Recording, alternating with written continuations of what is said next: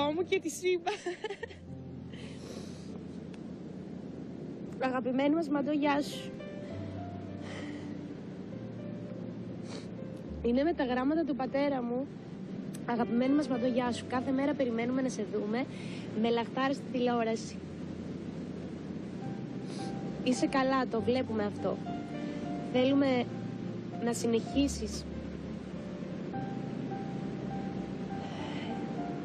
έτσι δραστήρια, να μάχεσαι όσο μπορείς με υπομονή όπου βρίσκεσαι.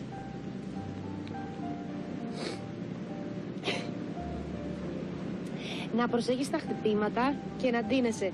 Alright. Αυτό το right είναι του πατέρα μου. Γιατί μιλάει τα δικά του αγγλικά. Όταν κάνουμε δουλειές στο σπίτι, καμιά φορά μου φωνάζει, ξέρω εγώ, μαντώ, φέρε, πιάσ' το κατσαβίδι. Το φέρνω και μου κάνει, alright.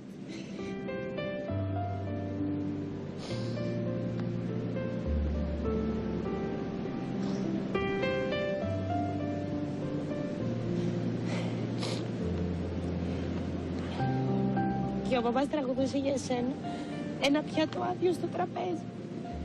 Και εγώ γελούσα. Α, είναι η Μανολίτσα μου. Σου στέλνω τρεις φωτογραφίες που ήσουν μικρή και την Παναγία να το βάλεις.